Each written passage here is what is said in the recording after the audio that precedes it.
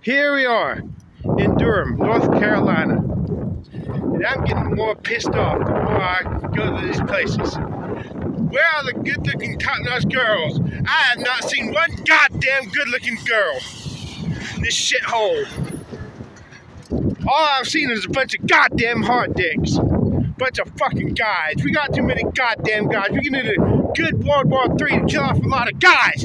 So that there are more women than men. But, oh gee, back in the 80s when there were three women for every man, everywhere I went outside of my town, even inside of the town, you were guaranteed to see at least a, a top-notch girl off two or three or four or five. Now all I go, I see is a gut bunch of goddamn god people dicks. Not god fucking damn it, son of a bitch.